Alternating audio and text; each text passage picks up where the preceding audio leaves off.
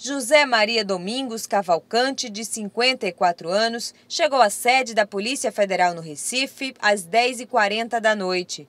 Ele foi preso no município de Buíque, no Agreste, a 258 quilômetros da capital, por ser suspeito de envolvimento na morte do promotor de justiça, Tiago Faria.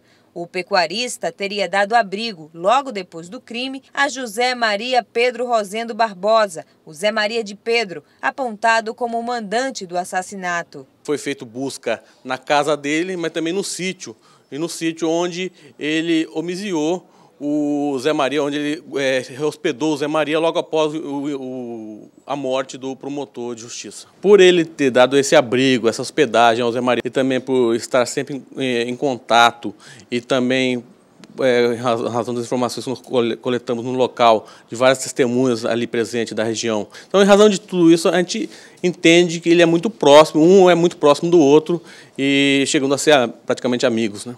Na casa e no sítio dele, os policiais federais encontraram recortes de jornais com notícias sobre o homicídio, celulares e um pedaço de munição deflagrada.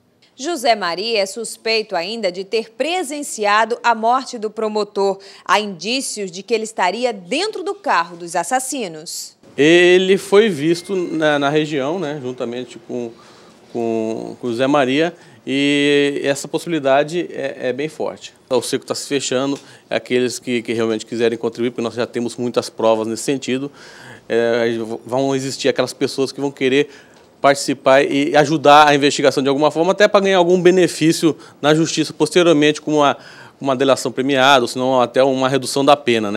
A Polícia Federal ainda não descarta nenhuma hipótese para o crime. Mas, por enquanto, a linha de investigação que aponta Zé Maria de Pedro como mandante parece ser a mais forte. Até agora, três homens já foram presos como suspeitos. Além do fazendeiro e de José Maria, também está no cotel José Marisvaldo Vitor da Silva, de 42 anos, capturado no dia 29 de outubro em Senhor do Bonfim, na Bahia. Por segurança, eles estão em uma ala especial, separada dos presos comuns. O trio cumpre mandados de prisão temporária de 30 dias, mas que devem virar de prisão preventiva, sem tempo determinado. Para auxiliar nas investigações do caso, a reprodução simulada do crime em 3D foi solicitada pela Polícia Federal. Mas as imagens feitas no computador só devem ficar prontas em março, quando, inclusive, o inquérito já pode ter sido concluído.